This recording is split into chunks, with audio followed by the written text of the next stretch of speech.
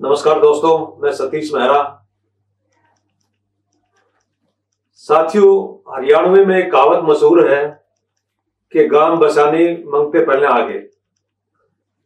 जैसा कि हम सब वाकिफ हैं कि हरियाणा विधानसभा चुनाव में सभी पार्टियों का चुनाव प्रचार शुरू हो चुका है और सभी उम्मीदवारों ने अपने अपने कार्यालय भी खोल दिए हैं।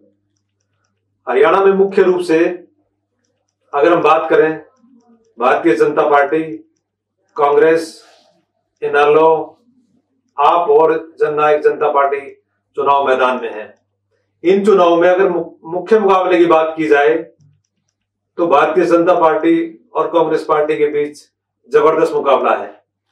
इन दोनों ही पार्टियों में मुख्यमंत्री पद को लेकर भी गुटबंदी सार्वजनिक हो चुकी है।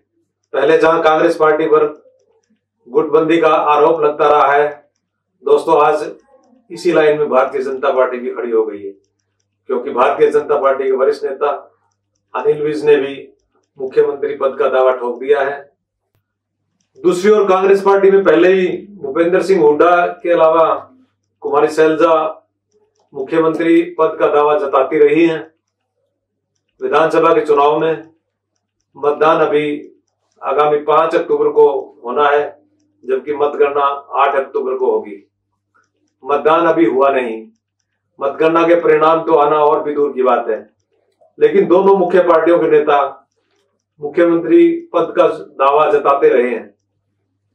मुख्यमंत्री पद का दावा जताने वाले ये नेता या तो धरातल की स्थिति से बेखबर है, या फिर यह अति महत्वाकांक्षी है। ऐसे में यह कहना कोई अतिशोक्ति नहीं होगी कि गाँव बसा नहीं मंगते पहले आगे।